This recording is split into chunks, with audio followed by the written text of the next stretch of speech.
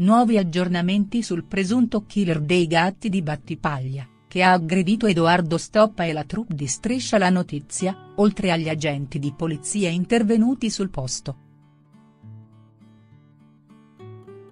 Come riportano i colleghi del Mattino, ieri è terminata la direttissima per il cubano, l'arresto dell'aggressore è stato convalidato, con il giudice che non ha optato per la detenzione, bensì per l'obbligo di firma presso la polizia giudiziaria. L'uomo ha tentato di scagliarsi contro l'inviato del TG satirico con un coltello, durante il blitz delle forze dell'ordine, un agente della polizia municipale è rimasto ferito.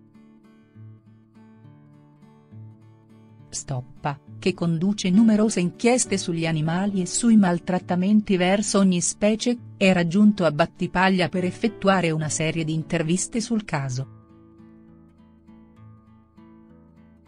Obbligo di firma per il killer dei gatti. L'apostrofo aggressione del cubano è dovuta all'inchiesta di Stoppa e del telegiornale satirico, con l'inviato che ha raccontato, quando sono arrivati gli agenti di polizia l'uomo è sceso di casa per attaccarci con un coltello di 25 cm. Per fermarlo sono serviti cinque agenti e uno di loro è stato raggiunto da una coltellata.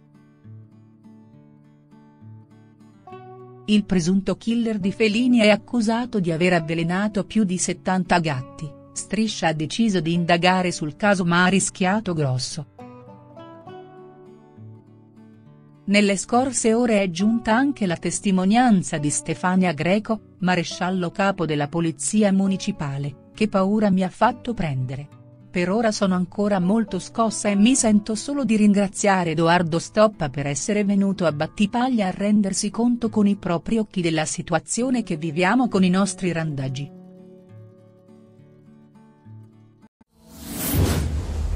Iscriviti per non perdere le novità, grazie per il like.